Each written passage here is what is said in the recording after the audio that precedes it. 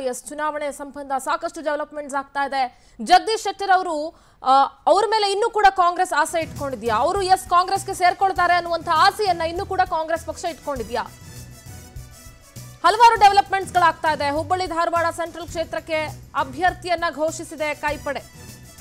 ಇನ್ನು ಕೂಡ ಘೋಷಿಸ್ತಾ ಇಲ್ಲ. ಹಾಗಾದ್ರೆ ಜಗದೀಶ್ ಶೆಟ್ಟರ್ ಅವರ ಮೇಲೆ ಇನ್ನೂ ನಿರೀಕ್ಷೆಗಳಿದೆಯಾ ಕಾಂಗ್ರೆಸ್ ಪಕ್ಷಕ್ಕೆ? ಇವತ್ತು ಸಂಜೆವರೆಗೂ ಕೂಡ ಕಾದು ನೋಡುವ ತಂತ್ರಕ್ಕೆ ಕಾಂಗ್ರೆಸ್ ಪಕ್ಷ ಮೊರೆ ಹೋಗಿದೆ. ಬಿಜೆಪಿ ಟಿಕೆಟ್ ಸಿಗದಿದ್ರೆ ಕಾಂಗ್ರೆಸ್ ಸೇರ್ತಾರ ಜಗದೀಶ್ ಶೆಟ್ಟರ್ ಮಾಜಿ ಸಿಎಂ? ಶೆಟ್ಟರ್ ನಡೆ ನೋಡಿಕೊಂಡು ಅಭ್ಯರ್ಥಿಯನ್ನ ಘೋಷಿಸೋದಕ್ಕೆ ಕಾಂಗ್ರೆಸ್ ತಯಾರಿಯನ್ನ ಮಾಡಿಕೊಂಡಿದೆ.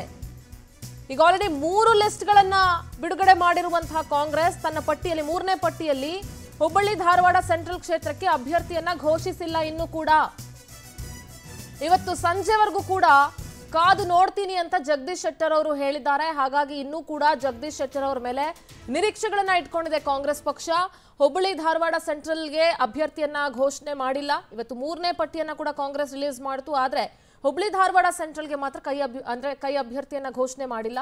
ಇನ್ನೂ ಕೂಡ ಜಗದೀಶ್ ಶೆಟ್ಟರ್ ಅವರ ಮೇಲೆ ಆಸೆಯನ್ನ ಇಟ್ಕೊಂಡಂತೆ ಕಾಣಿಸ್ತಾ ಇದೆ. ಬಿಜೆಪಿ ಟಿಕೆಟ್ ಸಿಗದೇ ಇದ್ರೆ ಜಗದೀಶ್ ಶೆಟ್ಟರ್ ಅವರು ಕಾಂಗ್ರೆಸ್ ಪಕ್ಷ ಸೇರ್ಪಡೆಗೊಳ್ತಾರಾ ಅನ್ನುವಂತಹ ಮಾತುಗಳು ರಾಜ್ಯ ರಾಜಕೀಯ ವಲಯದಲ್ಲಿ ಚರ್ಚೆ ಆಗ್ತಾ ಇದೆ. ಈಗ ಆಲ್ರೆಡಿ ಲಕ್ಷ್ಮಣ್ ಸವದಿ ಅವರು ಕೂಡ ಅಧಿಕೃತವಾಗಿ ಬಿಜೆಪಿಯನ್ನ ಬಿಟ್ಟು ಕಾಂಗ್ರೆಸ್ ಪಕ್ಷಕ್ಕೆ ಸೇರ್ಪಡೆಗೊಂಡಿದ್ದಾರೆ.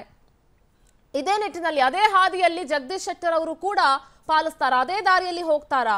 ಏನಾದ್ರೂ ಬಿಜೆಪಿಯಿಂದ ಟಿಕೆಟ್ ಸಿಗದೇ ಇದ್ರೆ, ಈಗ ಆಲ್ರೆಡಿ ನಡ್ಡಾ ಅವ್ರ ಜೊತೆ ಮಾತುಕತೆಯನ್ನ ನಡೆಸಿದ್ದಾರೆ, ಯಡಿಯೂರಪ್ಪ ಅವ್ರ ಜೊತೆ ಮಾತುಕತೆಯನ್ನ ನಡೆಸಿದ್ದಾರೆ, ಜಗದೀಶ್ ಶೆಟ್ಟರ್ ಅವರು. ಒಂದ್ ವೇಳೆ ಏನಾದರೂ ಬಿಜೆಪಿಯಿಂದ ಟಿಕೆಟ್ ಸಿಗದೇ ಇದ್ರೆ, ಜಗದೀಶ್ ಶೆಟ್ಟರ್ ಅವರು ಕೂಡ ಕಾಂಗ್ರೆಸ್ಗೆ ಸೇರ್ಪಡೆಗೊಳ್ತಾರಾ? ಹಾಗಾಗಿನೇ ಹುಬ್ಬಳ್ಳಿ, ಧಾರವಾಡ, ಸೆಂಟ್ರಲ್ಗೆ ಇನ್ನೂ ಆ ಕ್ಷೇತ್ರಕ್ಕೆ ಅಭ್ಯರ್ಥಿಯನ್ನ ಘೋಷಿಸಿಲ್ವಾ ಕಾಂಗ್ರೆಸ್ ಪಡೆ ಅನ್ನುವಂತಹ ಪ್ರಶ್ನೆ ಕೂಡ ಇದೆ.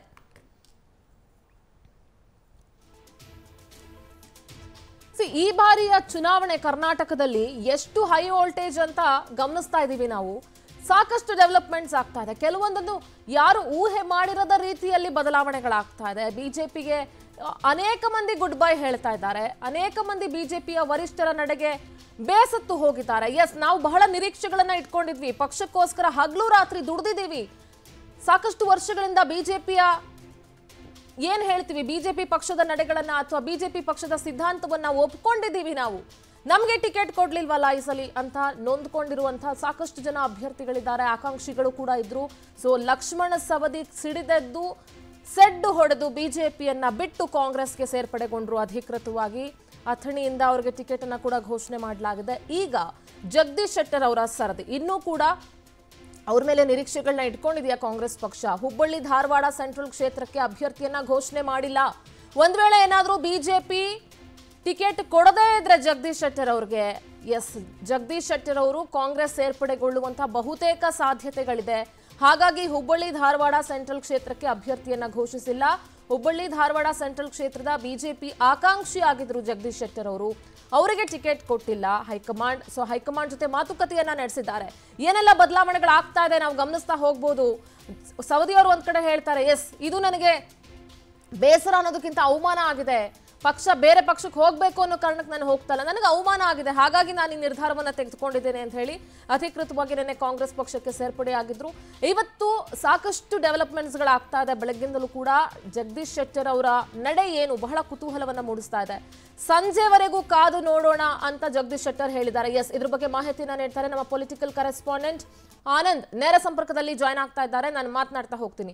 ಆನಂದ್, ರಾಜ್ಯ ರಾಜಕೀಯದಲ್ಲಿ ಸಾಕಷ್ಟು ಬೆಳವಣಿಗೆಗಳಾಗ್ತಾ ಇದೆ. ಚುನಾವಣೆ ಹತ್ರ ಬರ್ತಿದ್ದಂಗೆ.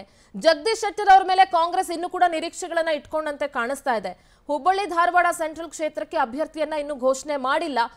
ಬಹು- ಬಹುಶಃ ಏನಾದ್ರೂ ಕಾಂಗ್ರೆಸ್ ಜಗದೀಶ್ ಶೆಟ್ಟರ್ ಅವ್ರ ಮೇಲೆ ಇನ್ನೂ ಒಲವನ್ನ ಇಟ್ಕೊಂಡಿದೆಯಲ್ಲ? ಬಿಜೆಪಿಯಿಂದ ಟಿಕೆಟ್ ಸಿಗದೆ ಇದ್ರೆ ಜಗದೀಶ್ ಶೆಟ್ಟರ್ ಕಾಂಗ್ರೆಸ್ಗೆ ಸೇರ್ಪಡೆ ಆಗೋದು ಕನ್ಫರ್ಮಾ ಹೇಗೆ?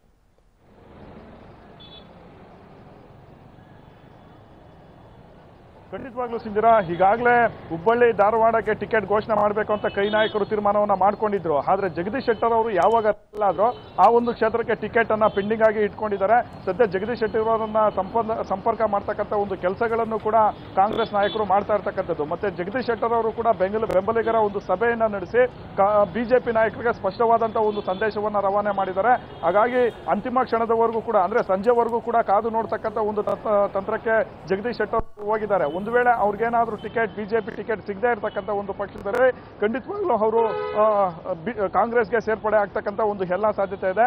ಹಾಗಾಗಿ ಸಂಜೆ ವೇಳೆಗೆ ಹುಬ್ಬಳ್ಳಿ, ಧಾರವಾಡಕ್ಕೆ ಯಾರು ಕೈ ಅಭ್ಯರ್ಥಿ ಅನ್ನೋದು ಸ್ಪಷ್ಟವಾದಂಥ ಒಂದು ಚಿತ್ರಣ ಗೊತ್ತಾಗುತ್ತೆ.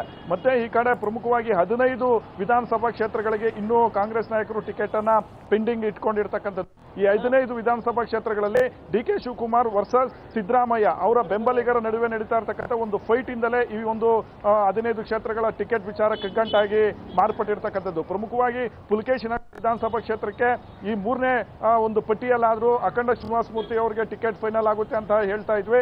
ಆದ್ರೆ ಈಗ ಮೂರನೇ ಒಂದು ಪಟ್ಟಿಯಲ್ಲೂ ಕೂಡ ಅಖಂಡಗೆ ಶಾಕ್ ಅನ್ನ ಕೊಟ್ಟಿರ್ತಕ್ಕಂಥದ್ದು. ಅಲ್ಲಿ ಪ್ರಮುಖವಾಗಿ ಸಂಪತ್ ರಾಜ್ ಅವರು ಡಿ ಕೆ ನಡುವೆ ಸಿಕ್ಕಾಪಟ್ಟೆ ಫೈಟ್ ನಡೀತಾ ಇದೆ ಸಿಂಧೂರ